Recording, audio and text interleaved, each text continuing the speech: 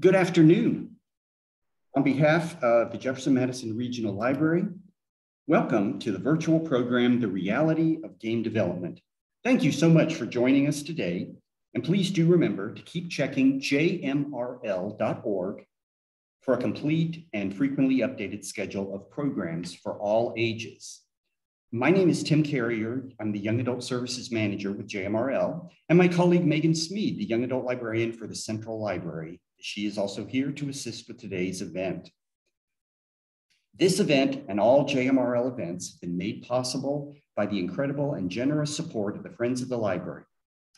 This program is being recorded for possible inclusion on the JMRL YouTube channel. So if you'd like to rewatch the program or have a friend who couldn't attend, barring any major technical issues, uh, we'll try to get this posted in the next few days. For anyone curious, the mics have been muted for today's event. We ask that if you have any questions during the course of the program, please enter them into the Q&A box at the bottom of your screen. But toward the end of the program, we'll take time for a Q&A and try to cover as many questions as possible. But if there is a pressing question during the course of the discussion relevant to the topic being addressed at that particular moment, please don't hesitate to ask, and we'll look for the first available opportunity to address it. Additionally, the closed caption transcript has been enabled for this program. You can activate the feature by selecting live transcript at the bottom of your screen and to receive subtitles. Please note that despite the prompt you might receive, the ability to save or download the transcript is not enabled. And also the transcription is not perfect. And now, it's my great pleasure to introduce our speaker. Josh Bycer is a game industry analyst with more than 10 years experience discussing video game design and the industry itself. Along with writing and making videos, he's interviewed game developers around the world. He's given presentations in schools and libraries and at conventions aimed at spreading awareness about the craft of game design and what it means to work in the game industry. He's the author of 20 Essential Games to Study and Game Design Deep Dive Platformers. So please join me in welcoming Josh Bycer of GameWisdom.com. Thank you, Tim. And uh, hi, everyone. Thanks for attending live. I'm going to share my screen now, and hopefully you will be able to see everything. There we go. And this is, as Tim said, the reality of game development. Uh, this program is one that I came up with to kind of talk about what it means to get into the game industry today. It's a topic that I'm sure everyone who's played a video game has thought about at some point in their lives. And uh, these lovely little screenshots are from an old commercial from the 90s that pretty much got everything wrong about what it meant to make games for a living. But as for a little bit more about who I am, um, like Tim said, I run Game Wisdom. And since 2012, I've been specializing in talking about the art and science of games. So essentially, I've kind of become this middle ground between the consumer side and developers. And a lot of that has come from being able to interview so many members of the industry. I would say at this point, I'm probably over like 600 different interviews. And a lot of this discussion, a lot of this topic has really get, basically gave birth or been a formed from these conversations and talking to people in the trenches and everyone from those who just started out to veterans of 15 20 years plus in the industry making games. So with a topic like this like this is one of my larger presentations and even with that said there's still going to be a lot that we won't be covering. So what we're going to be talking about tonight or I'm sorry, for today, is the kind of work that goes into making a video game. Specifically, what are the major tracks or kind of design dis- disciplines that you'll be able to look into and possibly go to school or learn on your own? We're going to be talking about the differences between working at a major studio and going the independent route. Over the last decade, one of the major things that have changed in terms of the game industry has been the rise of indie development. And I'll even have uh, slides and a section dedicated to talking about what you can do right now, including programs and engines that you can literally download as soon as you're done watching me and try to make something with it. And of course, we'll be talking about the current landscape when it comes to the market, who are the major players, stores, and useful information that you can look into now. With that said, what we're not going to be covering. We're not going to be talking about what colleges or schools you should go to attend to learn about game development.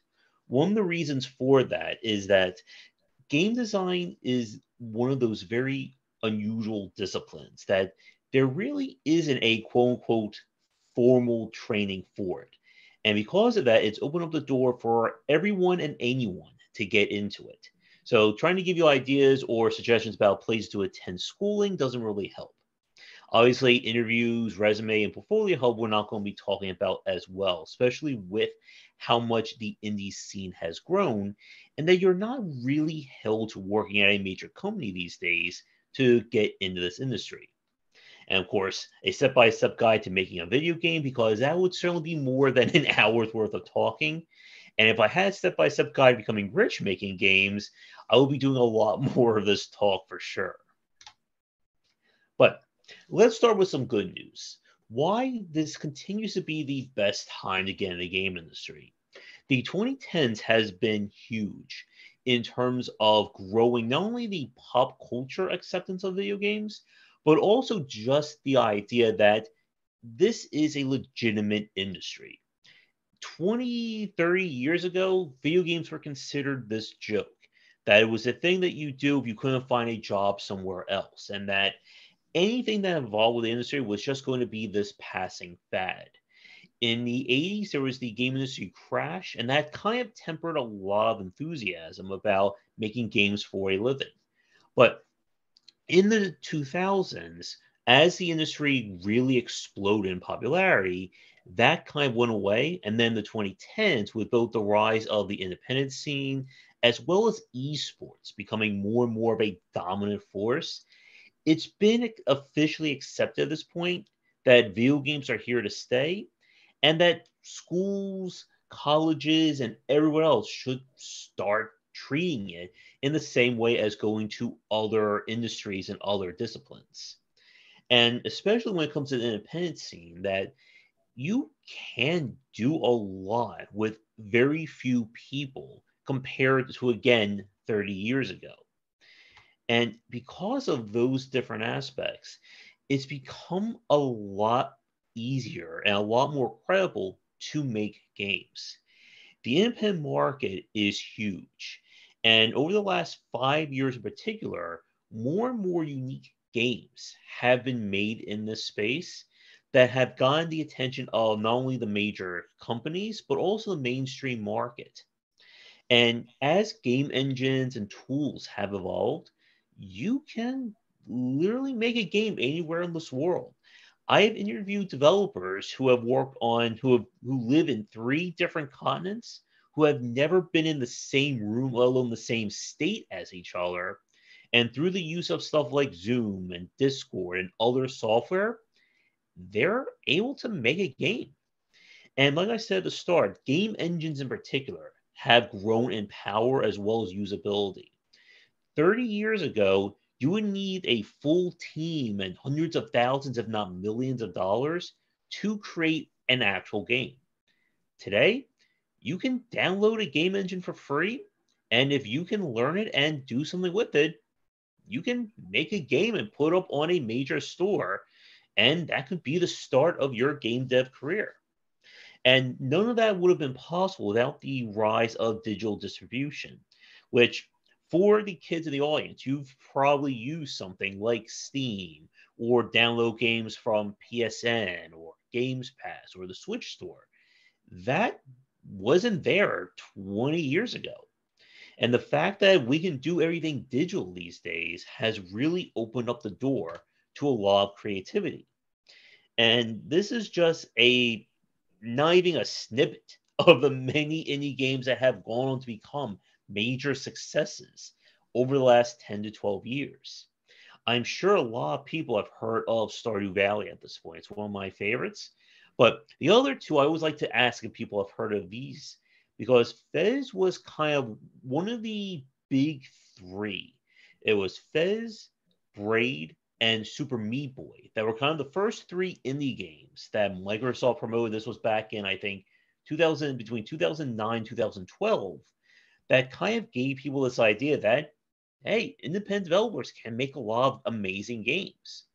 Darkest Dungeon, probably a little bit too mature depending upon the audience here, but this was a game that just went through every aspect of indie development. It got a successful Kickstarter, it got huge word of mouth, and the developers now have become recognized worldwide because of this one game.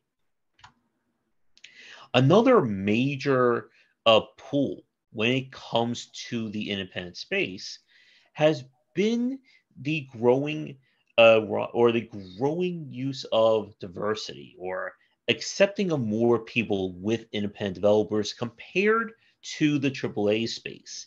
And I think a lot of people have generally felt this uh, sentiment that kind of more acceptance and more inclusion in the independent space has led to more discussions and kind of reaching out to a wider audience in the AAA space.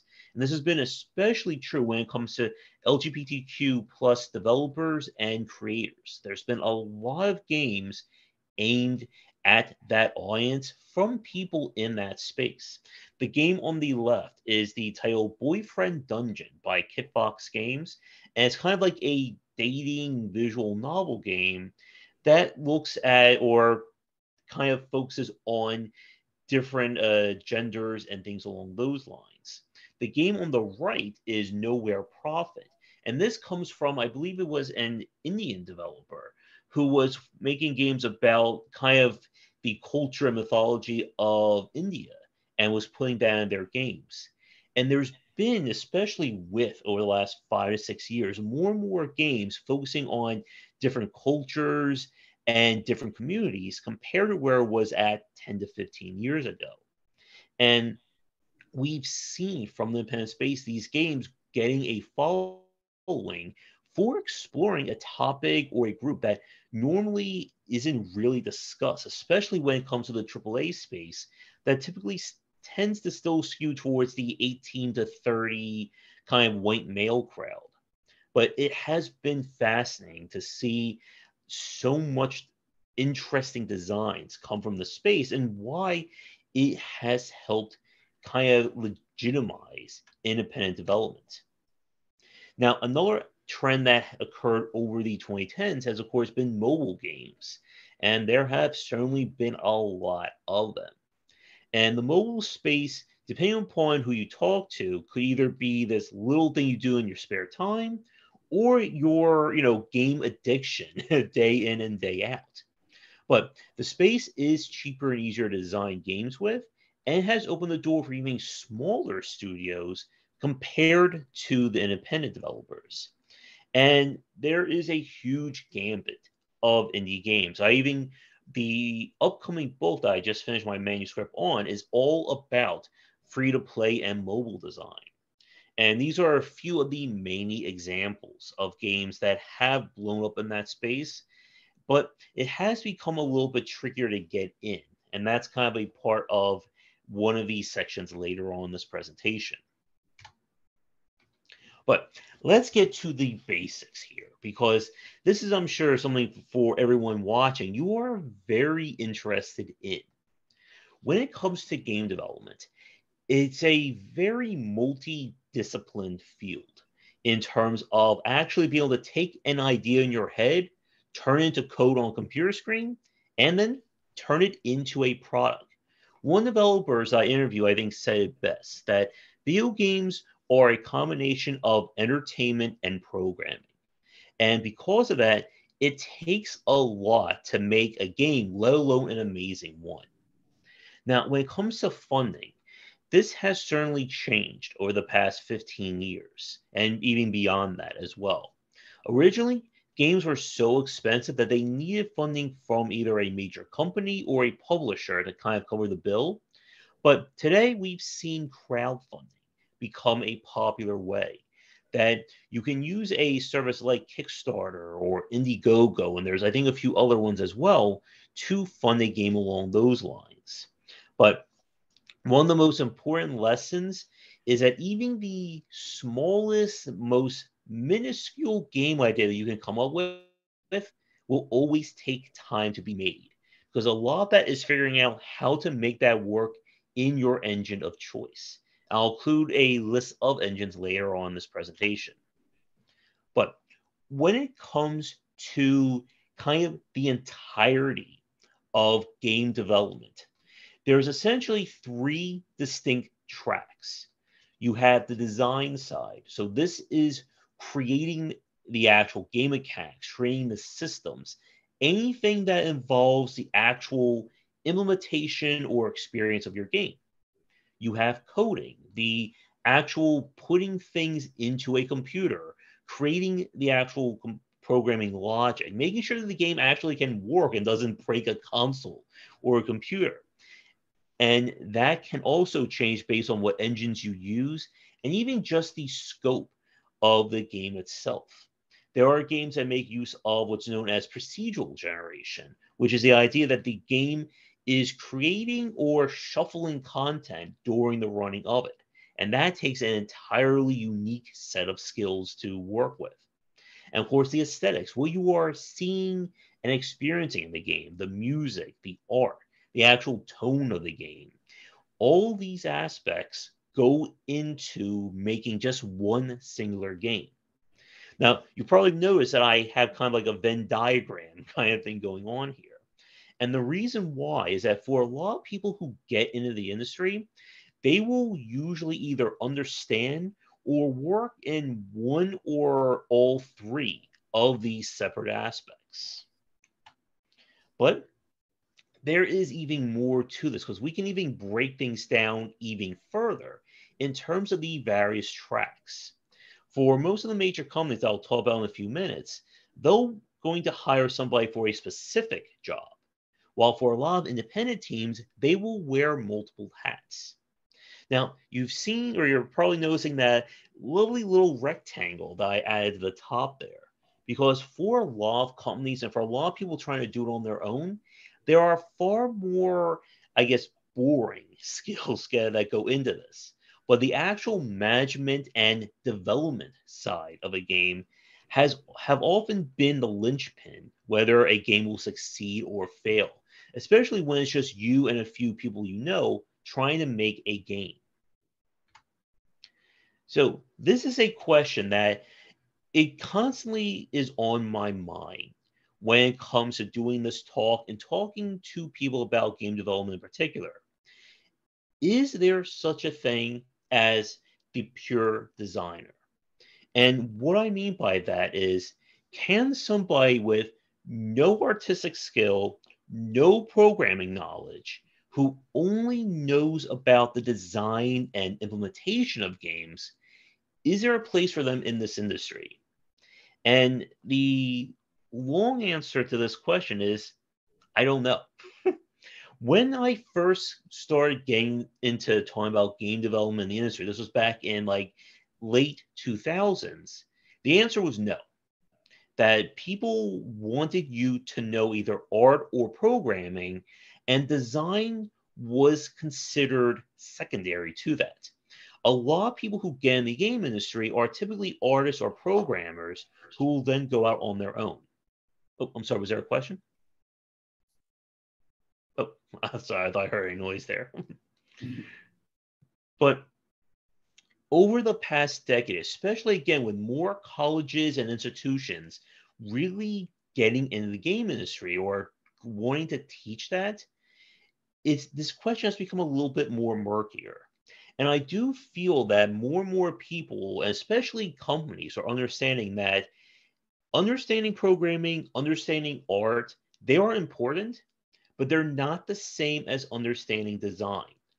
The obviously these screenshots are from various Mario games, and the creator, of course, Shigeru Miyamoto, originally joined Nintendo as an artist. And of course, he then became kind of their game design guru after that. But I do feel that this question is going to change, especially over the next 10 years. The 2000s was kind of the game industry blowing up. The 2010s was industry becoming more accepted. And I feel like this decade is when a lot of these standards and kind of foundational stuff is going to become more and more important. And that's kind of been my bread and butter, talking about, again, what does it take to make a successful game? And more importantly, design a successful game. So who knows? Maybe in the next few years, I'll be changing this slide around. now, another major aspect about game development is, of course, working at a major company versus working on your own.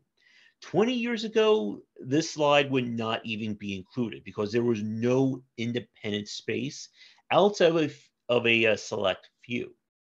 But again, over the 2010s, this has become a very viable option.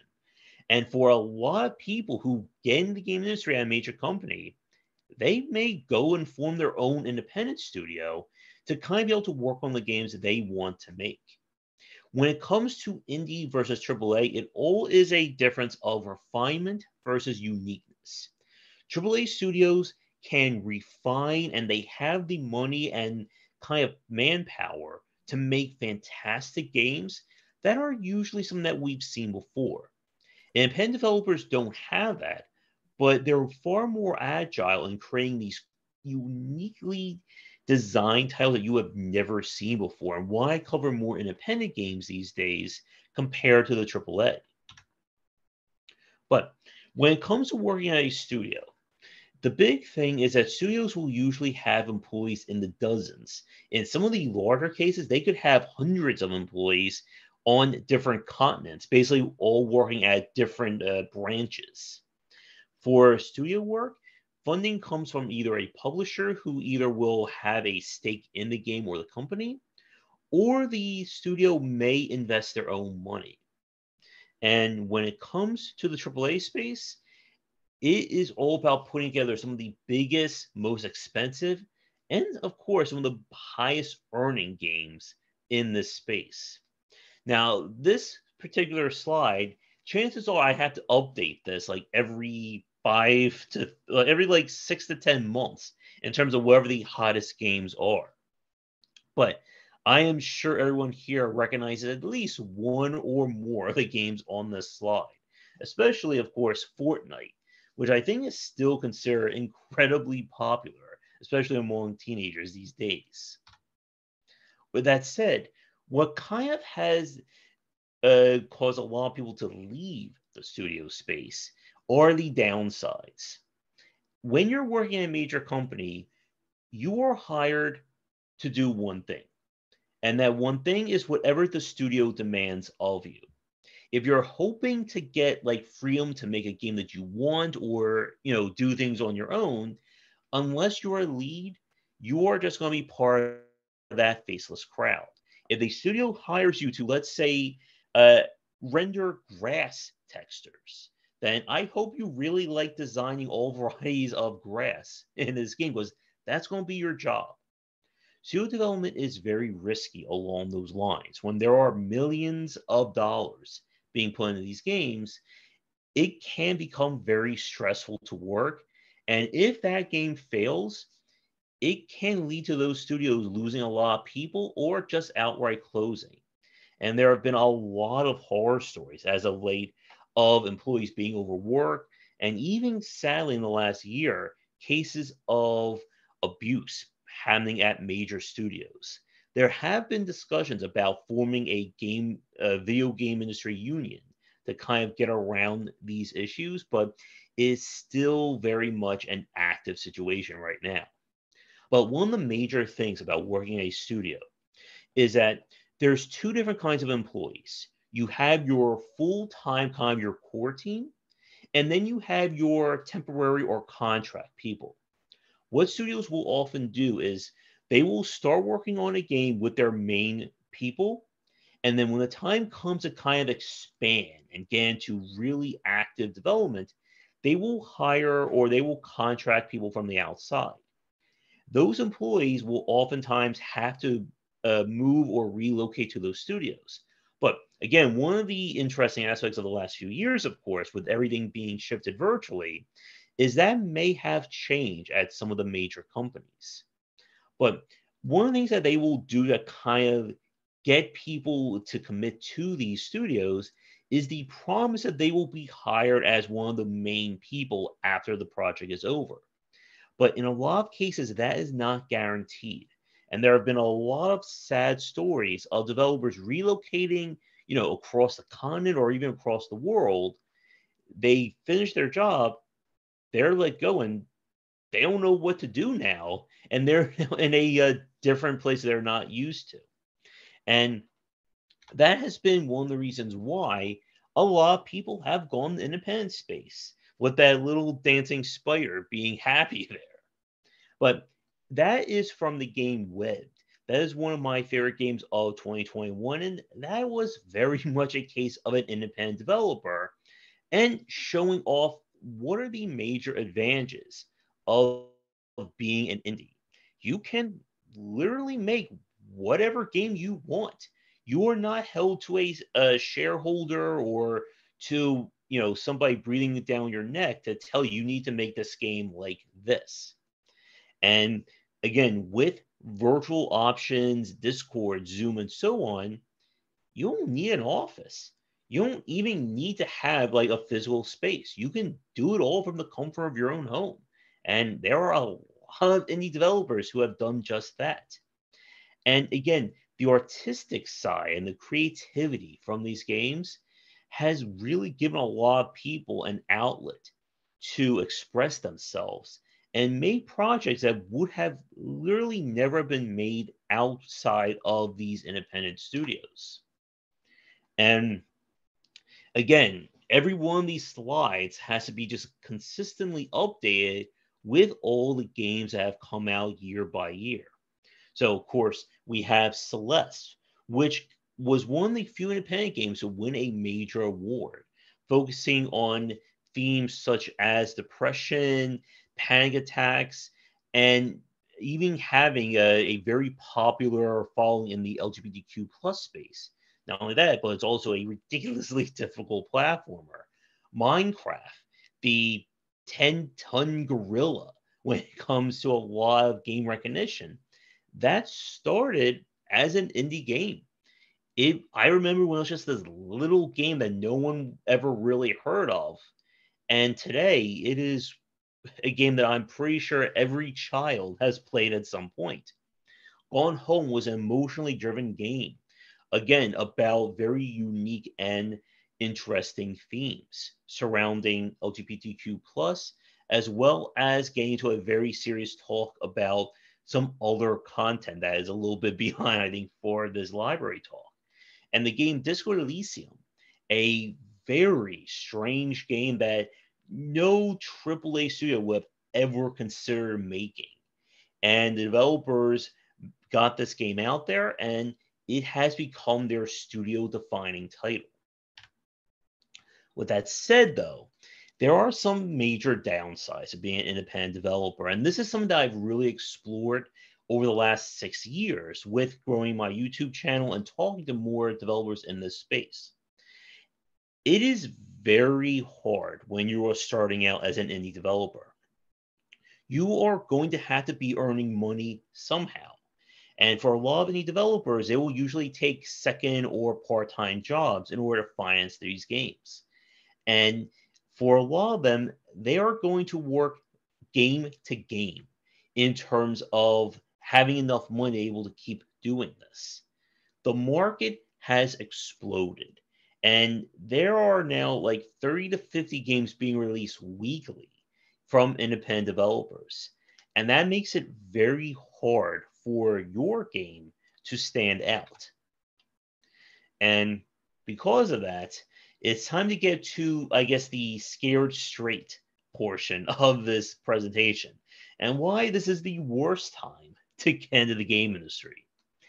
As I said a few seconds ago, we have gone from one to two games being released monthly to 30 to 50 games being released weekly. There are so many titles coming out that the consumers are flooded with them. There are more games than I think there is time to ever play them. And because of that, people expect high quality. There was a period where if you just had a game on a store page, you succeeded. It didn't matter what the game was, it didn't matter how much you priced it. It was so few games being released that it didn't matter. Nowadays, your game needs to be, you know, dynamite in order for it to succeed. And for every developer that has succeeded, I can guarantee you there are dozens, if not hundreds, of developers who did not. And it all leads into all these different aspects that have to work in order for a game to be able to become a success. You need people to find your game. And of course, that's why discoverability is a major point there. And the window for a game to succeed is smaller and smaller and over the last few years.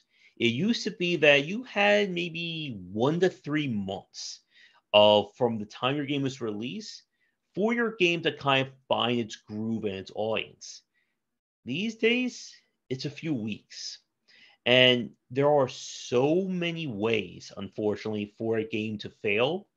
And we do not have the space. Like I said, this is one of my longer presentations. I can talk about this stuff for like two to five hours if you get me wound up. And I always have to resist going too much into detail about that in these presentations. Now, this has been something that kind of caused a huge gut to the game industry to the independent space from about, I would say, 2014, 2015 to maybe 2018, 2019. Things have been slowly improving, but there was this market trend known as the race to the bottom that there are so many casual games and free to play games that the consumer just said, why should I spend $20 on your game or even $10? And it caused a lot of developers to really have to focus on, you know, the most minimal viable product that, you know, we'll just make a game and sell for $2, 99 cents. But the problem is that the longer you spend on a game, the harder it becomes to get that money back. Now, the good news is that chances are by the time I give this presentation again, I may not have to talk about the slide anymore because there has been this tr- growing trend of more quality games.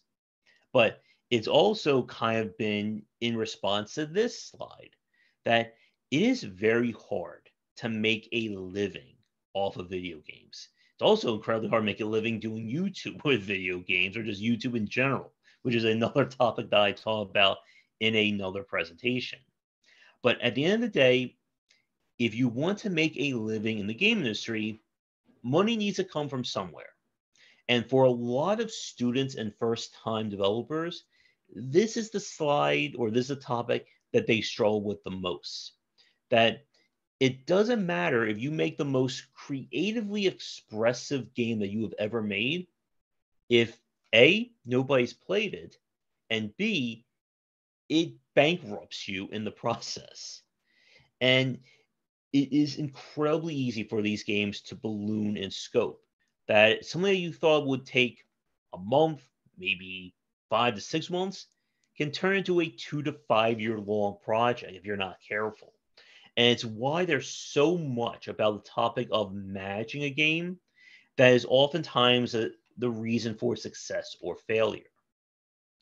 And when you are making a game, it is inherently risky.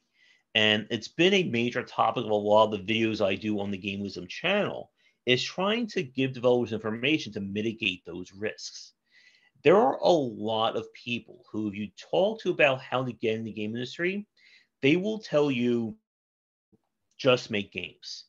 And oftentimes, those are the people who you don't want to listen to, I'm afraid. There is a massive difference between making games for yourself or you know doing it you know whenever you feel free and literally living off of these games and using that to you know keep yourself going and sadly, there are a lot of cases of games that did not do that, and those studios and companies going under because of it. And it is unfortunately one of the riskiest markets or one of the riskiest industries to get into. And again, if anyone tells you otherwise, they are unfortunately either lying or they don't understand that. And one of the good things is that you have you're watching this presentation to give you an idea. But this right here is kind of the mantra for this section that if you want to be successful at in the game industry, it takes more than just making a really great game. Because I have played amazing games that have failed. There's one of my favorite games, I think it was 2018, 2019. In a year of it being released, it only has maybe 20 reviews on its major site, while successful games can get thousands or tens of thousands. And to succeed in this space, there's a lot of secondary skills and things you need to learn. You need to be good at reaching out to people, of marketing your game. You need to be able to get people to play your game and learn from how they're experiencing your title.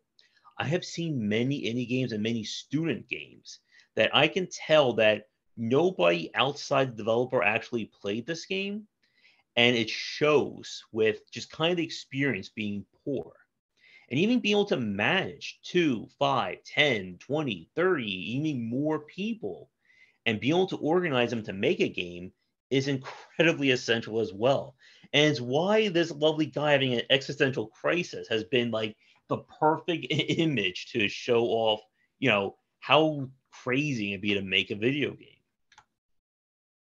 and one of the other major points is sadly failure. It is unfortunate, like in a perfect world, every game would succeed, it would get enough money to keep the studios going. Sadly, that doesn't happen. And one of the things I tend to try and hammer home when I'm talking to students and first time developers, you have to plan for failure. That you shouldn't be, your business plan shouldn't be, I'm going to spend 10 years on this game. It will succeed and I can retire to a private island. Because I can guarantee you that for most people, it doesn't happen. And the very best developers and those who have su- survived and succeeded in the space have learned to mitigate the risks in any way possible, understanding, you know, how long they should work on an idea, when to get people interested, when to do marketing. Because if you can do that, you can mitigate that risks, it will let you survive for another day and keep making games. The screenshot right there is from the game Cuphead. This was a game that started out as a small project from the studio MDHR. And when the game started to get more notice and they got picked up by Microsoft, they went all in. They took a second mortgage out on their home and they just uh, kind of dedicated themselves completely to this game. And guess what? It worked. It Cuphead became a celebrated game. They have a Netflix show, I believe, in the works now, and the studio's future is secured. But it could have also not have happened.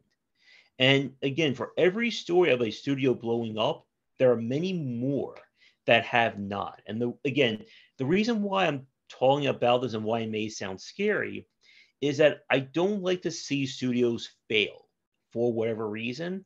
And a lot of people tend to ignore the failures. And it's why this presentation is called The Reality of Game Development, because it's not always this amazing, super happy, fun time. And if you don't understand those risks, you know, your game can fail by death by a thousand cuts because of it. So here's the good news that we're just about done with the scary part. And it's time to talk about what you can do right now. The fact that you're watching this presentation, either you're watching it live or recorded on the channel here, is a good start because you're starting to learn about what it actually takes to make a game.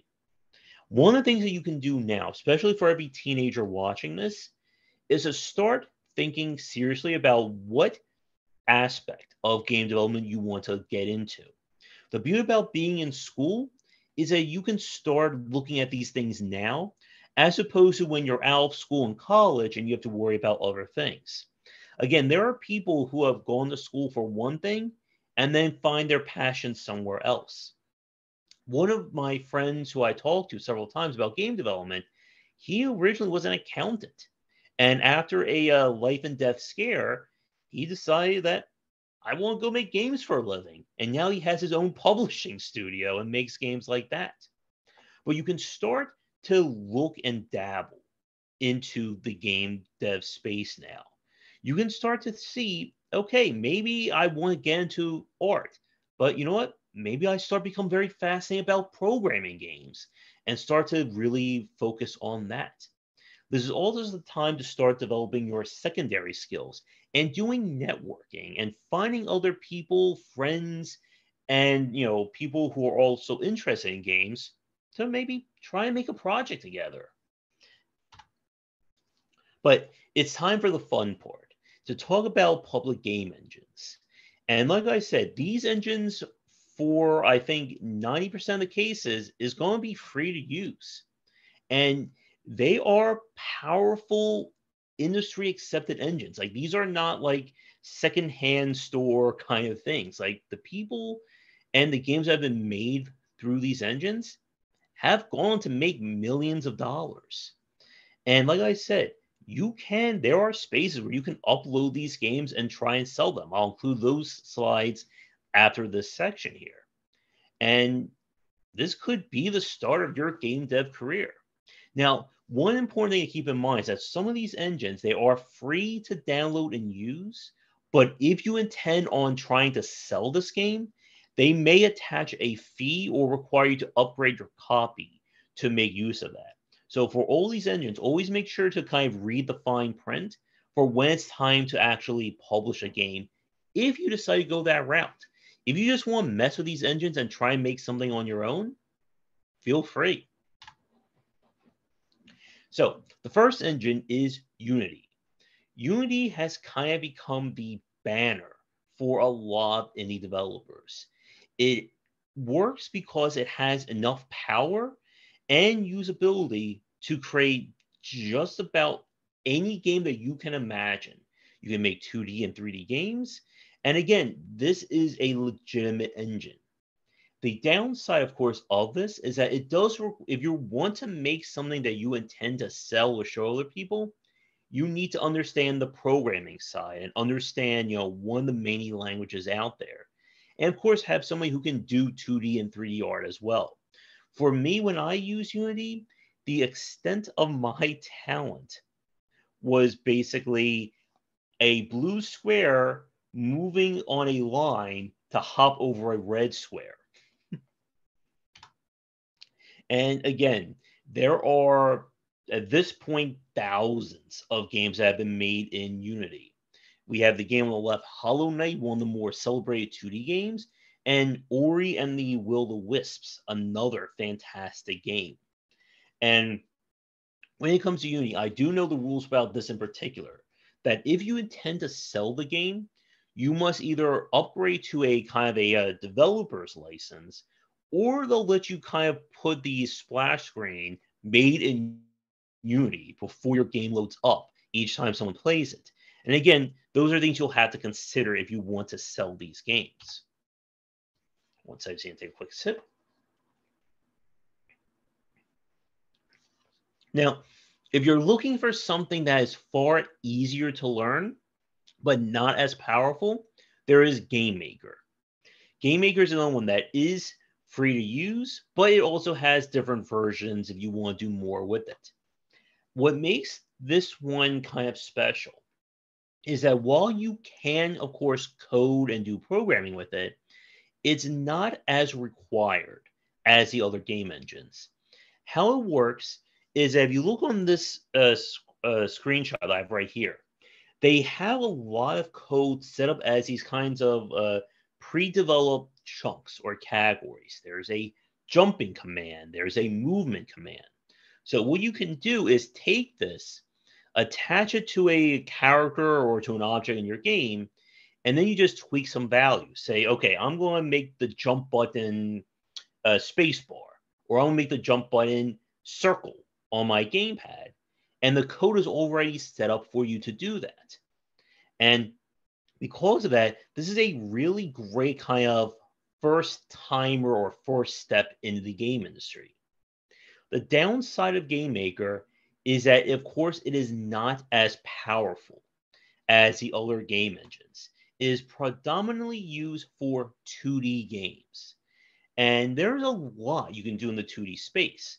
But if you are trying to make a fully realized 3D game, there are other engines that you can use for it. So these are two examples, or very two diverse examples of 2D games. The one on the left is Hyper Light Drifter, which is a very challenging high-speed action game. The game on the right is Forager. This is kind of like a casual, uh, kind of like a crafting, building kind of game. It originally started as a game jam. That was an idea that was created for like a 24 to 40 hour long period I believe he either took home first or second place. And the developer said, well, if people like it, maybe we can turn this into a full game. And it came out and has been very successful since. Now, in the complete opposite end of the scale to Game Maker, there is the Unreal Engine. Unreal is arguably the most powerful consumer engine that you can download and use. The reason why I say that is that many studios will have their own studio-wide engine. This is among like the most more powerful and biggest game developers. And those engines are only used for those respective companies. But Unreal has made their engine publicly available.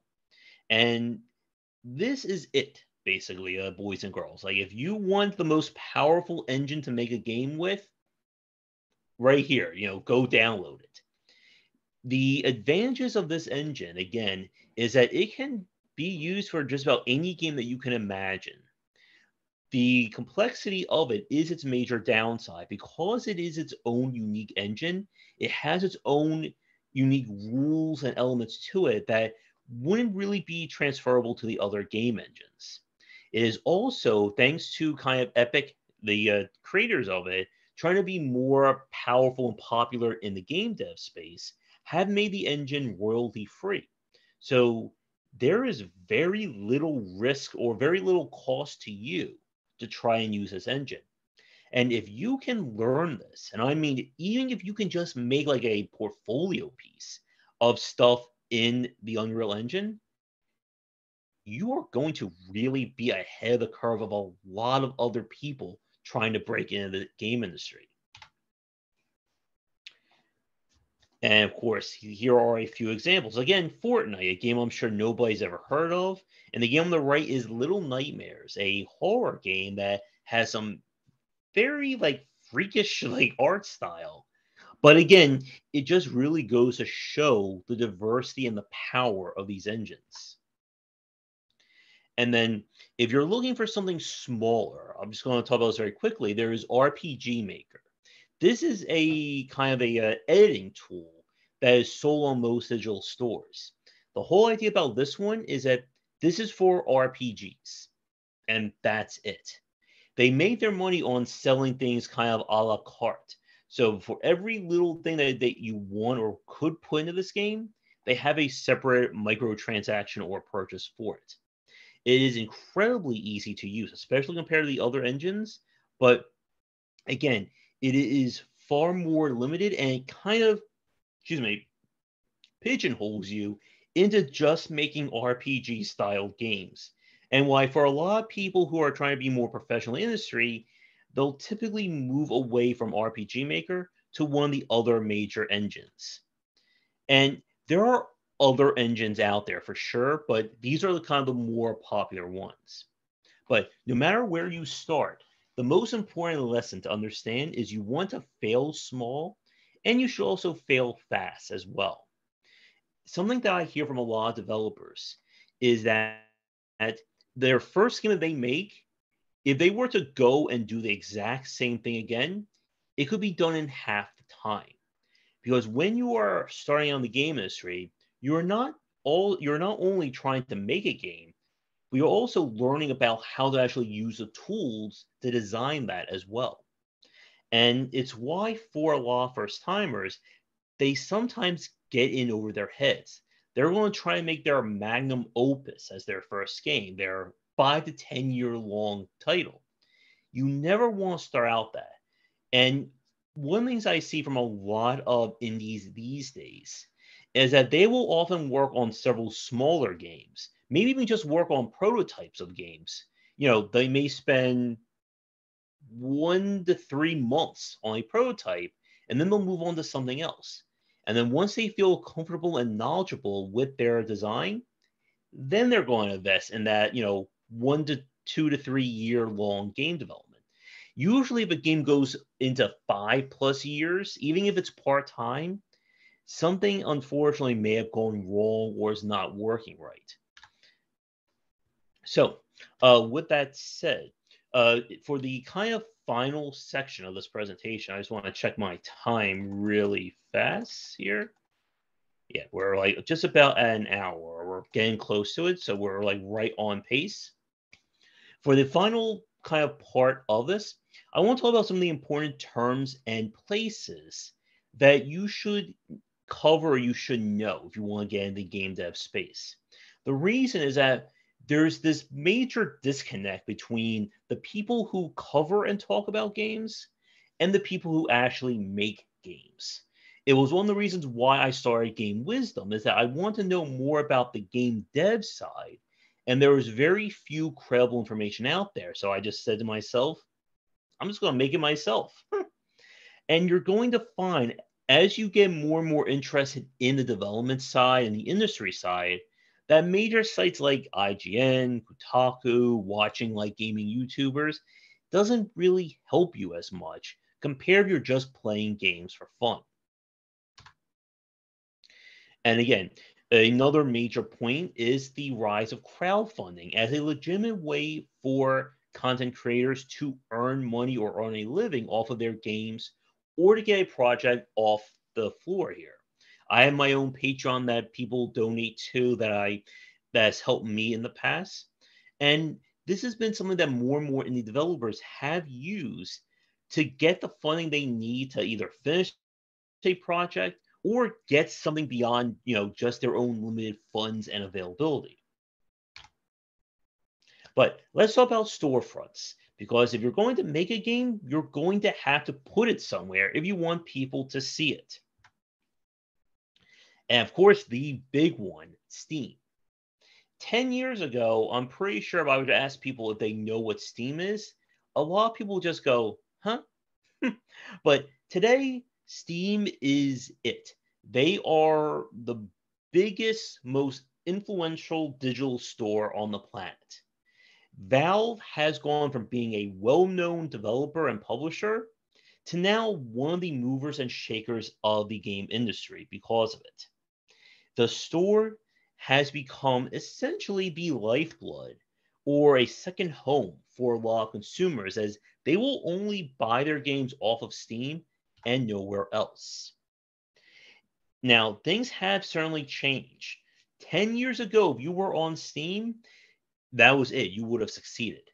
Today, they have opened up that as long as you have $100, you can put your game on the platform. And because of that, it has kind of lost that mystique. And a lot of developers have unfortunately struggled to make a name for themselves on Steam. But regardless, it's still number one for consumers. If you have any intent or interest in selling your game, you're putting it on Steam, whether you like it or not. If you're going the mobile side, the of course two big ones is the iPhone App Store and of course the Google Play for Android. Now, I don't do too much in mobile, which is why this will be a very quick one. But what I do know is that if you're going to get onto these platforms, your game must be approved, as in it must meet the standards of either Apple or Google, respectively. If it doesn't meet that, they will take your game off or demand you make those changes. And as the stores and phones have been updated and involved, they will require you to keep updating your game or they will just take it off. And it can be very risky in its own ways in terms of standing out in the mobile space. GOG is a site that is kind of home to a lot of classic games, but they've also opened up their doors to independent developers. In terms of their actual market share, they are on the smaller side. I kind of include them just for uh, being complete and thorough in this discussion. But most often, they're not the store you're going to focus on as an independent or a first time developer. Now, we've seen more and more third party uh, companies get in with their own platforms. Origin is run by EA. Uplay, which I believe they've actually changed their name in the last few months, is run by Ubisoft. And while they are, of course, focused on their own games, they have opened things up to smaller studios. Speaking about opening things up to smaller studios, itch.io is basically the store by indie developers for indie developers. It is entirely free to use. You can set your own price. And a lot of students have put up game jam games or smaller projects on itch. It has kind of been like the new uh, stomping grounds or breeding grounds for a lot of indie developers who are just starting out in the space. It has grown in terms of popularity and, and renown over the last three to four years, but it's still like nowhere near the same size as Steam. But if you are looking to just put something out there in the world to see, it's just right here for you. And they are a very welcoming community as well for developers. Humble has also grown. Humble Bundle, or the Humble Bundle, originally started as a charity to buy lots of games and donate to charities at the same time. But since then, they have transitioned to being their own store as well as publisher of a variety of indie games. And their humble publishing uh, firm has published a lot of recognizable indie games over the last four years. But kind of the quote unquote new kid in town is the Epic Games Store. And this is probably the most like fluid uh, slide for this section. Because when I first talked about it, it was like, yeah, it's just this little thing. Maybe it will survive, maybe it won't. We don't know. But since then, Epic has thrown a lot of money into this. And they're trying to position themselves as the second store compared to Steam. They take less money from uh, sales on it. And their whole idea has been trying to create another store to compete with Steam. It has led into this kind of quote unquote digital store war between the two giants. And while Steam is still number one, it has become a very interesting time to see what Epic will do to kind of court more independent developers and stand out. And of course, the various uh, major consoles. Originally, the consoles didn't care about independent developers, but they have become far more willing and accepting of them, with each platform having a space for indies. Microsoft, in particular, has become very invested in courting and purchasing indie studios to make games for the Xbox and, of course, Windows. And if your game becomes big enough, kind of the sign that you are on your way to being a success is when your game is being courted or picked up by one of these uh, software or one of these uh, platforms to be sold there. Although you can certainly put your own game up there on your own, but there are more risks and rewards along with that that we don't have the time to get into today. So networking is a major point about the game industry, especially on the independent space is kind of an industry of brothers and sisters that everyone kind of knows everyone. And that means if you become well known or you become liked, your name will get out there. And one of the best ways to do that is to attend conferences, whether, again, with the pandemic going on right now, a lot of them have shifted into doing things virtually, but there are still lots of local and state ones as well. So uh, a few of the big ones, we have PAX or the Penny Arcade Expo. This is kind of the uh, trade show by fans for fans. Although it has opened up the doors to companies and developers pitching their games as well, they usually run major conferences all throughout the world. I know there is, I think the PAX on the East Coast in Boston, I want to say, and I don't know where the trade show is on the Western Coast, but you can certainly look these up on your own. GDC or the Game Developers Conference. This is for the uh, Western Hemisphere, the major show for developers. This is for people who are in the industry, wanting to talk to other people and kind of talk more about the craft of what it means to make games for a living. This is not where you're going to go to see the newest and most exciting games, but it's kind of like where professionals go to meet other professionals. They did go virtually last year. I'm not sure what they're going to be going for this year at this time. E3, this is the major trade show by the studios. Now, the interest level and popularity has waxed and waned over the last decade. Some have said that E3 is no longer relevant. Some see it as just a major marketing event. And who knows, by the time we I do this presentation next year, I, I may not even include it just because of how things have changed so much when it comes to the industry getting its news. Now, if you're looking for information, starting to kind of doing research about the industry, this is going to be where you're going to find it. And there are many more sites as well. There are developers out there who have their own blogs or their own YouTube and Twitch streams that you can watch and kind of see them make their games in real time. But this is a great way to get started for yourself in terms of looking and listening to people who are making the games and kind of getting that firsthand knowledge. The first one is the IGDA, or the International Game Developers Association. At this moment in time, this is the closest the industry has to kind of a formal organization when it comes to the industry. Excuse me. They have chapters in every state. The chapters are usually ran locally by whoever are the developers and people within that state. Uh, here, where I'm at, based out of New Jersey, I typically go to the one that's in Philadelphia. But there's also a chapter in northern New Jersey as well. And again, if you go to the IGDA, you will find links to each state's chapter, as well as to a variety of special interest groups that cover and talk about various aspects. And it is free to uh, kind of sign up there, but they do have a paid membership that also offers unique advantages as well. Um, Josh, now, if I can interrupt for just a minute, yep. I'm sorry. Um, it looked like we might have had a hand raised a minute ago. Um, did you have okay. a, a, question that you wanted to ask? Uh, we do have the, the Q&A if, if you had a question you wanted to ask, and we can, uh, we can uh, uh work on, on answering that if, if there was uh, something that you needed to ask. Yep, uh, let me know. Okay, go ahead, and, and as that comes up, we can. Oh, okay. okay. Go right ahead, Josh, thanks. Okay. So another site, originally Game Developer was called Gamasutra.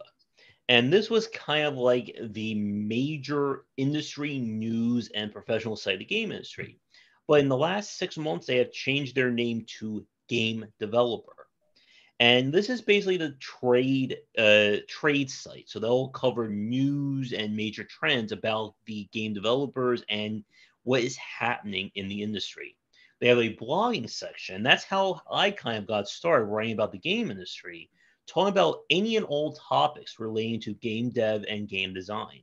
And if you are interested in kind of writing about things or putting these together like that, this is a great way to get started where other industry professionals will see your stuff. As an interesting point, that's how I got picked up to start writing and doing books. Was someone was reading my articles on Gamasutra at the time and they said, Well, have you ever given the idea about writing a book? And now here I am with uh, four books published and a fifth one that I just finished. and there are also additional books out there. And this is one of those slides that it can definitely change as things have grown. These are some of the ones that I have read. And I'm pretty sure they're all still available where books are sold. I'll, of course, have a slide showing my books near the end of this presentation but there are a few more as well. And again, uh, there's a lot more out there. on very specific topics about specific genres or specific aspects of the game industry. One of my favorite places is the GDC Vault.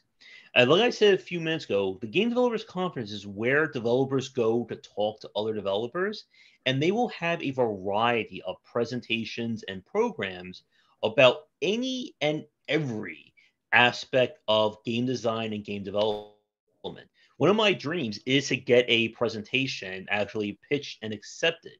And I keep like putting down they haven't done it yet, but I'm hoping for next year's conference that I have something I can really show off. But the more popular presentations, they will record those and put them onto the GDC Vault. Now, the Vault can be expensive. They have videos that are both free and those that require you subscribe to watch them.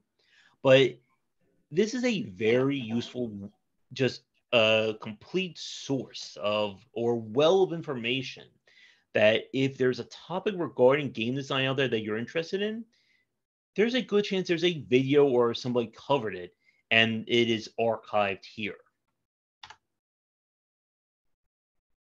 But uh, we are coming to the very end. And yeah, like I said, like with this presentation, I tried to move through it a little bit on the faster side because there is so much, and there's still so much that I could I haven't even gotten into that I could get into that I could talk about. But I try to keep things, you know, moving along so you're not all just listening to me rant for five to 10 hours. But to conclude things from this presentation, game development is a very passionate industry. I always like to say that it is a fun business, but it is still a business. People do not get into games because it is their backup job it has attracted people who want to go all in and create games for a living. It is very fulfilling to do that. But that passion can be blinding.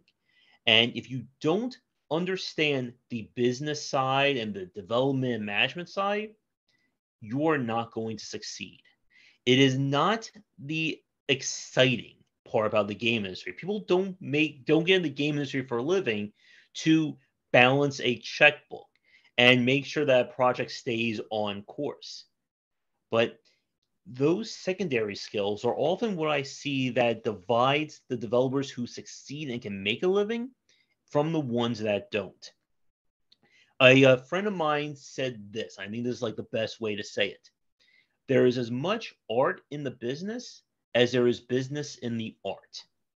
And a lot of people have always said that, you know, you either wear your artist hat or your businessman's hat. And what we've seen is that it's really a combination of the two. And my biggest advice to every one of you watching this right now start learning about this stuff because how you mitigate risks is to know what those risks are. And while I did have that kind of scary section in this presentation, this is still one of the best times to get in the game industry. There is so much knowledge out there and so many things for you to study that you can be ahead of the game compared to industry professionals who, you know, they may have years of experience at a major studio or even being in the independent space, but they didn't have that knowledge and they had to learn and make those mistakes on their own. And to give you kind of like one positive example, when I interview a lot of first time or even just like early on in their career indie developers, they have often made amazing games, even more so than professional developers in the space, because they they did the research, they studied games, and they understand the development side, and they did a lot more as in their first and second or even third game than some people do on their 10th or 20th project. So if you can start learning this now, if you start preparing, it will help you tremendously when it comes to making these games. And it's better to do this now while when you are in school or you're just starting out. Then again, when you're trying to balance a livelihood on top of everything else. But uh, I believe it is time for our Q&A, and then I'll have my slides where you can follow me after that. So if anyone has any questions, uh, feel free. Okay, Josh, it looks like um, we have one question here. I'll go ahead and read that and uh, mm-hmm. uh, let you answer that. Um, how do you go about learning a programming language? Uh, do you have any recommended languages? And should you start with an easier language before learning one that's more complicated? That is a good question. And let me preface this by saying that I am not a programmer by trade. I have spoken to lots of, of programmers, even people who have built their own game engines to design their games with. When it comes to learning a programming language, the first thing you need to do is, well, you have to just start getting into it. Uh, some of the more like basic or more widespread examples of programming language would be stuff like uh, C or C++ or C Sharp, uh, JavaScript, uh, like I said earlier, when if you're going to use Unreal, I believe they use their own uh, distinct uh, scripting or programming language, and again, that leads into the difficulty and depth of it. But usually, something like I know with Unity in particular, they do use, I believe, uh, C++. No, I, I think it's like C++ or C Sharp and JavaScript. Now, again, there are plenty of programming languages out there. Now, to help you learn it, one of the advantages again of so many developers, you know, doing more in terms of uh, game dev and doing these more publicly is that there are tons and tons and tons of videos and tutorials and game dev streams that you can watch of people literally programming their game and coding it that you can take notes from. And for each one of the major game engines, uh, sorry, game engines, they also have tutorials and things you can watch as well. And really, the best thing that you can do is just start, like, pick one and just start working with it and see what you can do in that space. And like I said, for each engine that you want to use, they're going to have different rules from it. I would say if you want to start in terms of the general aspect of it, there are i know schools have programming clubs and programming courses. They can at least give you the basic idea the idea behind you know like the methodology of programming. And that was one of the things when i was in high school i did take several programming classes in that respect. And that kind of helped me build up my understanding of programming or uh, the program logic that goes into coding these things. Because it is very uh, specific in terms of your thought process and taking something from your head and putting it into code. So if you can start, you know, taking those courses or even start doing things on your own, you'll start to kind of build up kind of that philosophy that goes into it.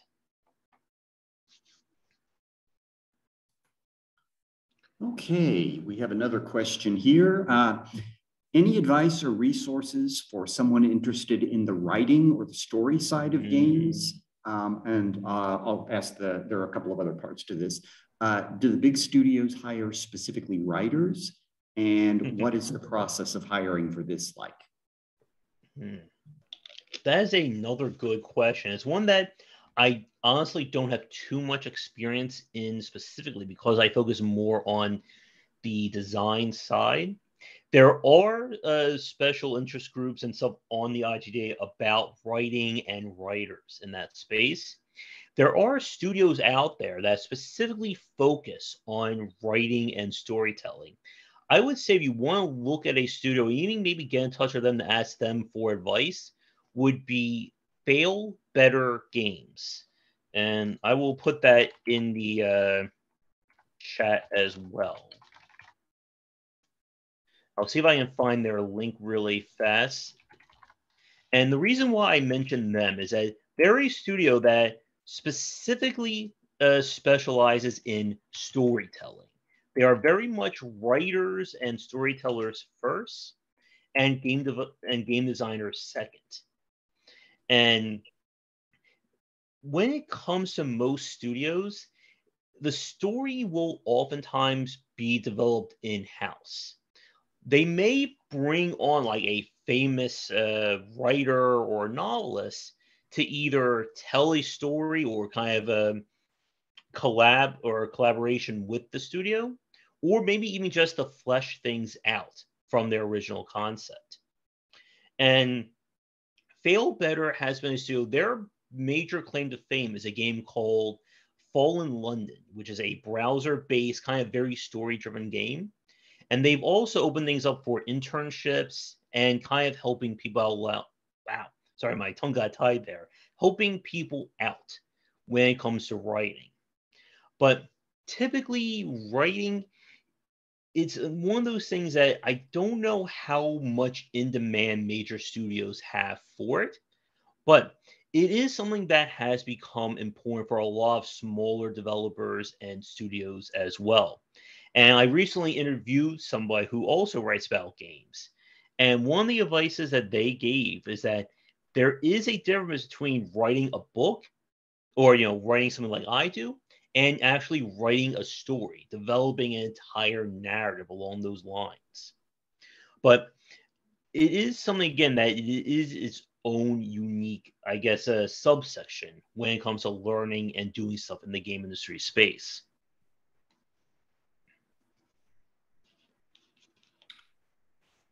Okay. Let's see. Does anybody ha else have a have a question that they'd like to ask? And while while you're looking into that, I'm going to see if there is a special interest for writing from the mm-hmm. IGDA. And yes, there is. I will put a link to that as well. So that is a link to the uh, special interest group on the IGDA that specifically is about game writing. And yet, if you are for if you don't have a question, if you are looking for more information, definitely check out the IGDA. Like I said, it is at this time like the most quote unquote formal organization regarding the various disciplines of the game industry. Hmm. Okay. Any other questions? All right. Oh, go ahead, Josh. And if anyone, oh, I was going to say, if anyone does come up with someone want to get in touch with me, you know, after the stream or after the video, uh, I'll have a slide that shows my major contact information. And I welcome everyone to send me a message. I am always open to uh, fielding questions and talking about game industry and game design.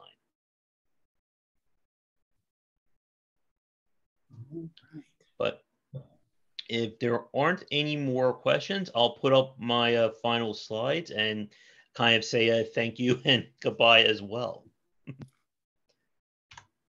so if you are interested in my books that I have out on game development and design now, these are the four that I currently have published. I have a fifth one that I just finished. Uh, 20 Essential Games to Study, that is kind of my entry level book about it's essentially 20 games if you're looking to be inspired to make a game and why they're so interesting or unique. These are 20 that I recommend. While the game design deep dive series, that's kind of like my more professional or uh, educational series. Each book in that covers a specific genre, and I basically go top to bottom in terms of the history, methodology, and design of them. So the one that I just finished is all about free to play and mobile games. And these three cover platformers, roguelikes, and horror, respectively. But uh, thank you so much for watching, whether you're enjoying this, uh, watching it live, or you're watching it recorded on uh, the library's YouTube channel. I'd like to thank Tim and the rest of the library for having me out here virtually. And if you'd like me to come back, I am always here. So if you want to find my works, these are the best places for it. Game-wisdom.com is my major site. I have also transitioned to doing stuff on Medium. And I work for a site or a kind of a virtual magazine, Superjump. And I post a lot of my stuff over there as well. My YouTube channel, Game Wisdom, where you'll find my daily videos on all manner of design topics at this point, as well as my interviews with developers from all around the world. And if you want to send me a message or follow me on Twitter, I am on there at GW Bycer. And like I said, if you do have, if any questions do come up from you or any questions after this, uh, just feel free to send me a tweet or DM me. I am always uh, open and readily available. All right. Well, Josh, thank you so much for a wonderful presentation. We really appreciate your spending some time with us here today. And thank you to everybody for, uh, for coming to the program today. We hope you enjoyed it. And uh, definitely check jmrl.org for additional programs for all ages uh, coming up down the road. Thank you again and good afternoon, everyone. Have a great weekend. Take care, everybody.